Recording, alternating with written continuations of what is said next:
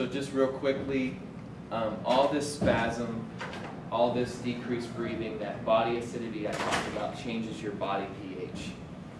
So the things that also change that are processed food, coffee. So we're mixing all that together. Sometimes something as simple as, hey, drink more water and eat more green vegetables can drastically change their pH. Once the oxygen balance starts to switch, they can breathe a little easier. But, you know, literally when people have that full body, aches everywhere, fibromyalgia type symptoms, chronic pain symptoms, you have to take a look at the nutritional component. You can't just think all the pain is in their muscles, you know. And then down the line, take a look at their stress. Sometimes when people are in really tough places in chronic pain, if you mention their stress or their mental at the beginning, they're going to really get offended because they think you're saying that's in their head. It's not in their head.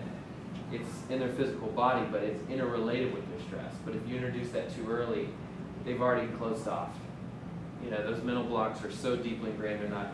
So you have to get them kind of a, to a point where they're pain-free a little bit for them to hear you, you know, because it's it's such a emotional turmoil just to be in pain. So if you can free them up a little bit, then they're open to the next the next step.